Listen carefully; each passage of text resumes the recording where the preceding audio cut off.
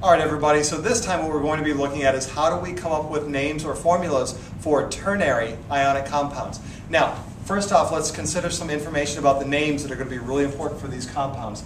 If you identify the uh, name of the compound as ending in something like ate, that we see two examples of here, or if it ends in something like ite, you know for certain that you're dealing with a ternary ionic compound. Now there are some exceptions to this. Uh, this is an exception right here. So what am I talking about when I say ternary ionic compounds? I'm talking about metal ions or an ammonium ion which is combined with a polyatomic ion so that we have three or more different elements combined to form an ionic compound.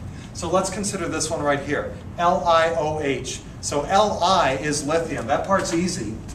write that in.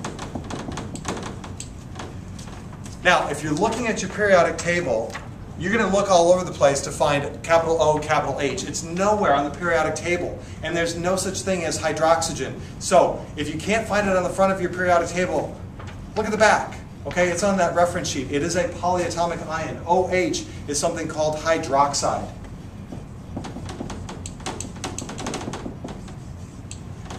Now, the charge of hydroxide ions are minus 1. So lithium plus 1, hydroxide minus 1 are going to combine in a 1 to 1 ratio. Let's look at our next example here. Magnesium nitrate. Now I need to figure out from the name how to write a formula. So I need to figure out some information about magnesium, some information about nitrate. Magnesium, we learned earlier, is an alkaline earth metal and it has a plus 2 charge when it forms ions.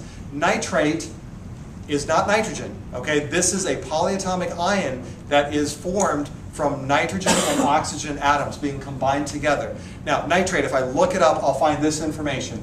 It has a formula of NO3, and it's going to have a charge of minus 1.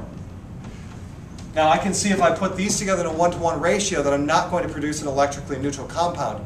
I have more plus, I don't have enough minus. So I need additional nitrates I would need two of them to balance the plus two charge of the magnesium. Now how do I write this in a chemical formula? Mg, that's easy. I'm going to write NO3. Now, this doesn't make any sense. This would be a nitrogen with 32 oxygens paired with it. I need to use parentheses.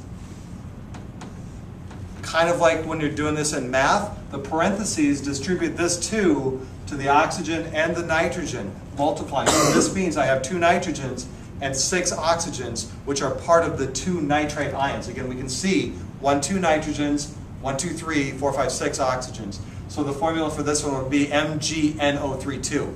Uh, finally, our last example is aluminum sulfate.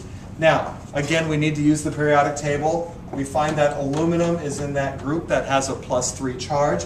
Sulfate, it's a polyatomic ion. You find it on the back of your periodic table. SO4 2 minus is the charge of that. So once again, I need to find the common multiple of 2 and 3. Now there's another way that we can do this. It's called the crisscross.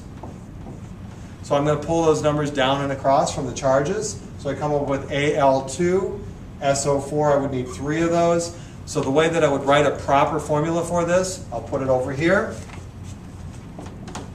would be Al2, SO4 in parentheses, followed by a 3. Again, Al2, Al plus 3, Al plus 3, that's positive 6. SO4, SO4, SO4, each one has a charge of minus 2. So that gives me a negative 6. Put them together, we have a charge of 0. We have a neutral compound.